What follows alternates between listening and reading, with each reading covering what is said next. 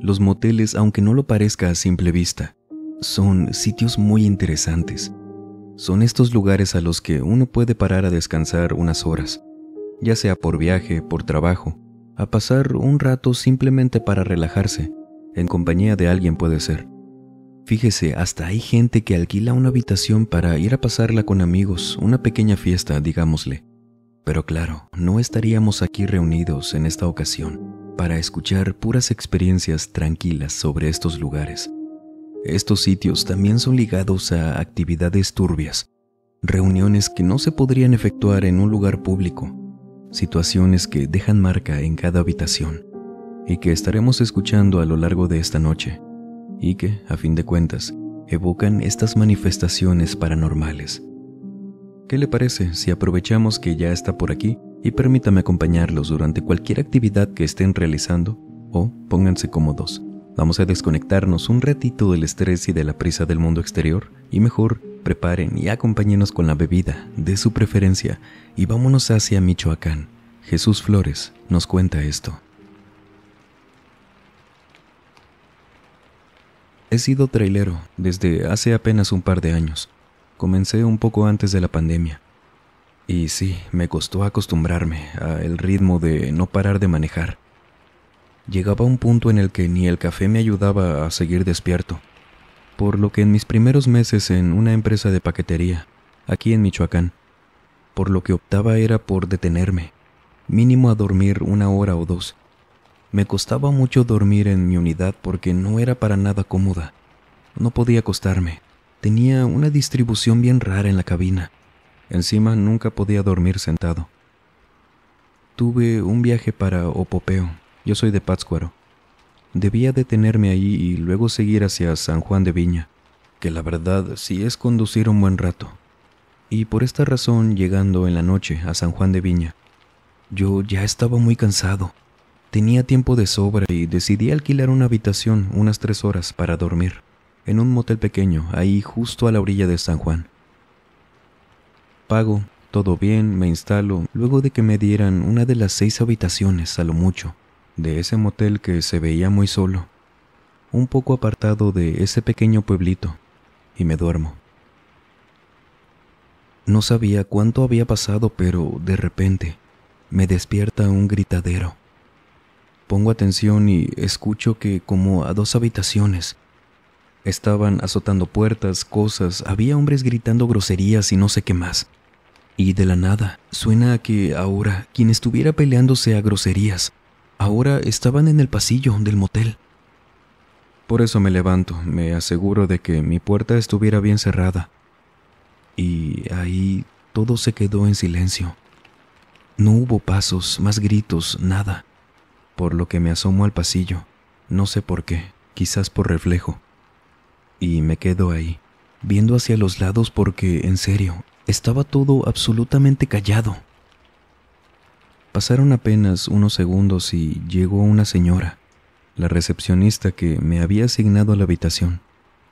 Y antes de que le preguntara algo, yo creo que vio la cara que traía, encima de estar asomado desde mi habitación, que me acuerdo muy bien que me dijo, Buenas noches, señor. Sí, escuchó, ¿verdad? Le digo que sí y me dice, Discúlpeme, yo no sé si usted crea en esto, pero no tiene que temer, ¿ok? De hecho, no hay nadie más hospedado en este momento aquí que usted. Y a lo que me refiero con creer o no es que son cosas que pasan de vez en cuando. Y tengo que decirle la verdad porque no vaya a pensar que por aquí hay gente conflictiva, donde usted está descansando. Le voy a decir la verdad, pero usted decide si creer o no. Aquí, hace muchos años, en aquella habitación del fondo, se había hospedado un señor. Lamentablemente no nos quedó de otra más que obedecer cuando llegó gente armada aquí al motel, ordenándonos que les diéramos la llave de esa habitación porque venían por ese señor. Y aquí quedó, si me entiende. Algo de mí me decía que todavía estaba soñando, que estaba muy cansado y que quizás había imaginado desde esos gritos hasta la conversación que tenía con esa mujer, pero no, sí, sí era real. Ella me estaba contando esto y me dijo que no ocurría seguido, pero cada que lo escuchan, lo ignoraban o como el caso de ese día, que yo estaba ahí. Iban con los huéspedes y los tranquilizaban. Le agradecí por su sinceridad. Regresé a mi habitación, tomé mis cosas y me fui de ahí. Esa experiencia me sirvió para quitarme el sueño por completo acababa de escuchar algo que en realidad no existía, o existió más bien en otro tiempo, y se presentó a unas habitaciones de mí. Iba pensando en eso y llegué sin sueño a casa. Nunca más me ha pasado nada en algún motel, y espero que así se quede. Por lo impactante que resultan los eventos de este tipo, donde se viven muchas emociones fuertes, negativas en su mayoría, y encima se pierde una vida. Es como dicen que esos ecos, esas repeticiones de esos últimos momentos de una persona, se repiten una y otra vez, cada cierto tiempo. ¿Hasta cuándo? Ya nos lo hemos preguntado muchas veces. No se sabe. Siempre hay muchas variantes. Y en lo que piensa en esto, vámonos ahora hacia Mérida, Yucatán, México. Una persona que no menciona su nombre nos cuenta esto. Si no menciono mi nombre no es porque haya pasado algo que deba ocultar. Es solo que me da pena. Mi familia de vez en cuando escucha este canal y mejor dejémoslo así. Y esto es porque en esa ocasión, por allá del año 2014, me di una escapada con mi en aquel entonces novio. Salimos a pasear a varias partes ese día y terminamos la noche en un motel. Avanzó la noche y nos dormimos. A mí solo me había pasado una vez eso de la parálisis del sueño, y esa noche, hospedándonos ahí, me pasó. Desperté, sentí que no me podía mover y era raro porque de principio no podía abrir los ojos. Sentía que estaba despierta, respiraba rápido. A mi novio también lo sentía a mi lado, y ahí batallando para moverme. Sentí que a los pies de la cama algo se estaba subiendo. Pensé también en que mi novio estaba moviendo los pies o algo así, pero cuando descarté eso, fue cuando sentí que me estaban agarrando los pies, los dos, sentía las palmas de unas manos. Me empiezo a sacudir en la medida de lo que podía y abrí los ojos, pero no podía levantar la cabeza para ver quién estaba a los pies de la cama. Sin embargo, sí veía a mi novio dándome la espalda, dormido. De la nada siento que algo brinca sobre la cama y me rasguña tan feo, a la altura de las pantorrillas, y ahí ya me pude mover. Me siento en la cama de golpe y no no veo a absolutamente nadie. Y no sé por qué, como que cuando sales de ese estado te desorientas tanto que pensé que había sido solo un sueño, por más que estaba despierta, sintiendo todo. Aproveché que estaba despierta y fui al baño. Les digo, me desorienté tanto que era como si nada hubiera pasado. Llego al baño, enciendo la luz, me bajo un poco la pijama y mis piernas, de las rodillas hacia abajo, estaban arañadas. No sangraba, pero se veían rojas esas marcas, como hechas por uñas bien delgaditas, como si me las hubieran hecho con alfileres, se los juro. Despierto a mi novio asustada, encendiendo la luz gritándole que alguien estaba en la habitación. Él se levanta, me pregunta qué pasaba. Comenzamos a buscar, pero la puerta estaba cerrada, con seguro. No había nadie más que nosotros, y le enseño las marcas. Él me dice que muy seguramente me las había hecho yo dormida, pero no fue así. Yo tengo el sueño muy ligero. Tenía uñas grandes en ese momento y eso no eran uñas. De persona al menos.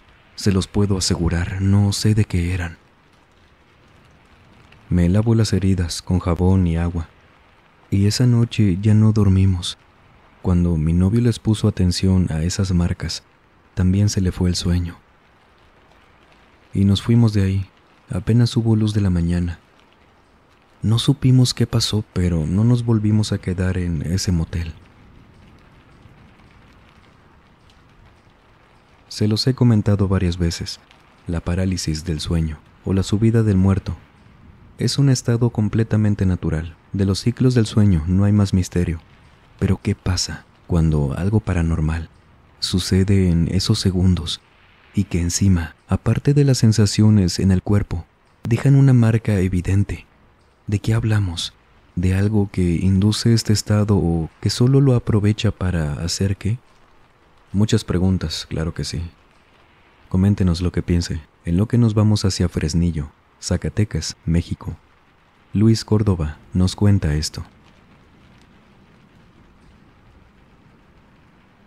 En el año 2007, con quien a día de hoy es mi esposa, vivimos algo que nunca se nos olvidó.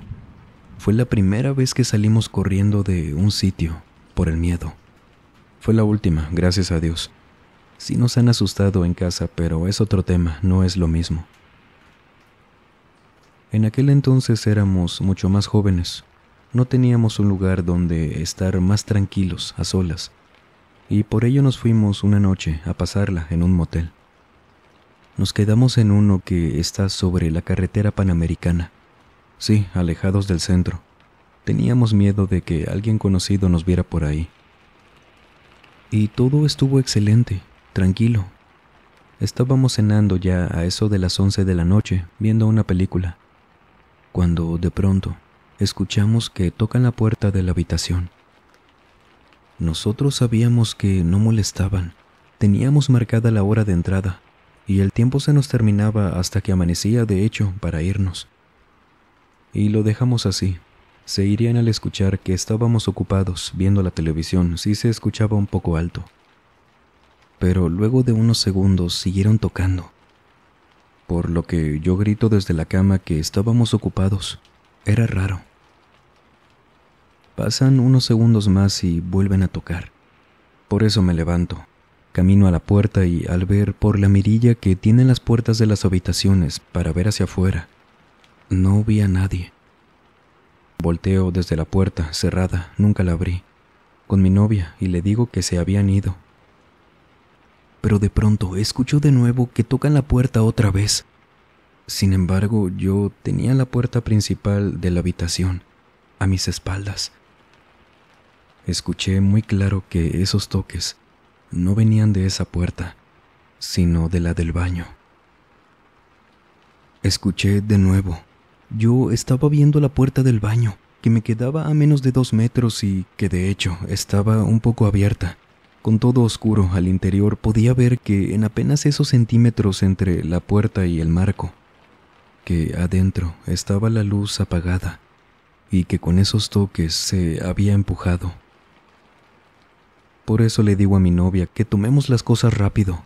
No traíamos tantas cosas y por eso pudimos salir de ahí sin esperar a que volvieran a tocar. Yo les juro que eso fue en la puerta del baño. Alguien o algo estaba ahí, cuando no tenía sentido. Nosotros lo habíamos usado hace poco. No había por donde pudiera entrar alguien. Y así fue como salimos volando de la habitación de ese motel. No quisimos quedarnos a ver qué era. Si usted pasara por esta situación, ¿se asomaría? ¿Abriría la puerta? ¿O qué pasaría si al intentar cerrarla desde adentro algo le toma la mano. Cuéntenos. Recuerde que las redes sociales están en el primer comentario. En ocasiones hago encuestas interesantes por allá, a veces de otros temas, en mi cuenta de Instagram, claro, aparte de la del mausoleo, por si quieren conocerme. Subo reels de mi ciudad y más cosas, así que sígame, estemos en contacto por allá. Y ahora, vámonos a Texas, Estados Unidos. Mariah P. nos cuenta esto. Trabajé ya hace varios años en un motel de paso a las afueras de Kingsville y ahí me llevé una experiencia única para mí y para mal. Desde que entré a trabajar, la verdad es que nunca hubo nada raro. No me contaba nada de que se aparecieran cosas, que tuviera cuidado con algo, nada. De hecho, era raro que tuviera compañeros por ahí. ya que no ocupaban mucho personal, más que los de limpieza. Pero como ellos siempre estaban de un lado para otro, casi no hablaba con nadie. Y así pasé mis primeros cuatro meses trabajando en ese motel. Lo cierto es que esos primeros cuatro meses me había pasado en dos ocasiones que algún huésped me viniera a decir que no los dejaban dormir. Decían que les estaban haciendo mucho ruido desde la otra habitación. Y eso siempre pasaba cuando dormían enseguida de la habitación número 8, me acuerdo muy bien. Fueron esas dos ocasiones. Luego siguieron pasando los meses, en que sí, me decían de vez en cuando que ese ruido no los dejaba dormir. Yo la verdad no sabía qué decirles, porque cuando pasaba eso era cuando precisamente esa habitación estaba desocupada. No teníamos algo más pegados a esos cuartos que les estuviera haciendo ruido. Siempre era de noche cuando pasaba esto. No es que estuvieran trabajando con remodelaciones y con eso hicieran ruido hasta que en una ocasión un cliente sí vino muy enojado a la recepción y me dijo, Señorita, por favor, estoy tratando de descansar, pero en la habitación de al lado no dejan de golpear la pared. Sé que cada quien debe estar en lo suyo, pero en verdad es muy molesto. Es justo donde está la cabecera de mi cama. Son son muchos golpes que no dejan dormir. Por favor, coménteles algo o cámbieme de habitación. Yo revisé porque estaba segura que esa noche la habitación 8 no estaba ocupada, por lo que le asigné otra habitación. Le comenté que lo arreglaría y cuando se fue, vino un compañero de limpieza, a quien le pregunté sobre esa habitación. Apenas hasta ese momento fue que pregunté bien, como que antes solo preguntaba por encima o mis compañeros no me decían nada. No sabían tampoco qué pasaba, imagino pero a este compañero no le había preguntado antes. ¿Qué? ¿Se vinieron a quejar otra vez de la 8? Nunca cambió, ¿eh? Yo le pregunté que a qué se refería y él me dijo, Ah, no, no sabes lo de la 8. Pensé que sí, discúlpame. ¿Cómo que no te contaron, Maraya? Mira, es que hace unos ya creo que cinco años aquí, bueno, en esa habitación. Vino una muchacha a hospedarse. Yo ya trabajaba aquí. Pasaron sus horas, su tiempo. Fueron a buscarla para pedirle que pagara más horas o que desocupara la habitación. Pero no les abría, por lo que tuvieron que entrar ellos y la encontraron colgada con una soga. Antes era distinto el diseño de las habitaciones. Tenían vigas como antiguas. Las remodelaron, claro. Y pues bueno, muy triste ese asunto. Ella misma se lo hizo porque nadie más entró y yo la vi también. La pared, cerca de donde estaba ella, estaba manchada por los zapatos, como que había estado pataleando y por eso estaban esas marcas en la pared. Y supusimos después, con las quejas de los clientes, que esos sonidos eran de los últimos momentos de la pobrecita muchacha, que quizás así se escuchaba cuando estaba pataleando. Mi compañero me juró que me estaba diciendo la verdad. Hasta se persignó cuando habló de ella y ¿saben qué? Hubo un detalle que había pasado por alto, que esa habitación cuando estaba desocupada, sí me tocó ver en varias ocasiones que tenía veladoras encendidas adentro. Mis compañeros me pedían que esa siempre fuera la última opción para entregar. Y yo creía que era porque quizás era la que estaba en peores condiciones. Ya me había pasado en un hotel que trabajé, algo así lo de dejar de última opción una habitación. Por eso pensé eso. Pero ahora que lo sabía, que recordaba a esos clientes escuchando esos golpes en la pared y que sabía que eran patadas de esa chica que se colgó.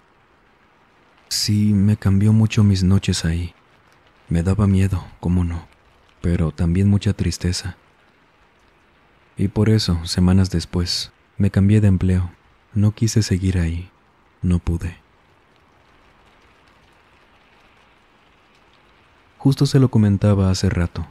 Esos residuos que dejan eventos trágicos donde se pierde la vida de una forma horrible, de alguna manera dejan huella y se siguen manifestando a día de hoy, recordándonos cómo fue que partieron de este mundo. Y este relato comparte una similitud con algo que conté hace mucho tiempo por aquí. ¿Le suena? Intente hacer memoria para ver si lo recuerda. Y vámonos hacia el distrito de los Olivos, Perú. Mario Olascoaga nos cuenta esto. Hace años una amiga y yo fuimos a una fiesta.